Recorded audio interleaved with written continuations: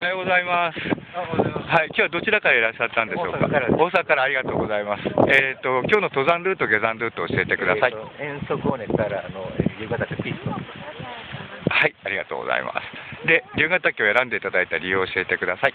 えーともう3回目なんですけれども、はいえーと去年、えーだいぶ吹かれて、はい、えーなかなか面白いところだったので、はいえー今日。あ、ありがとうございます。じゃあ、一言、コメントお願いします。登山2回目です。はい、装備が中途半端でした。はい。はい。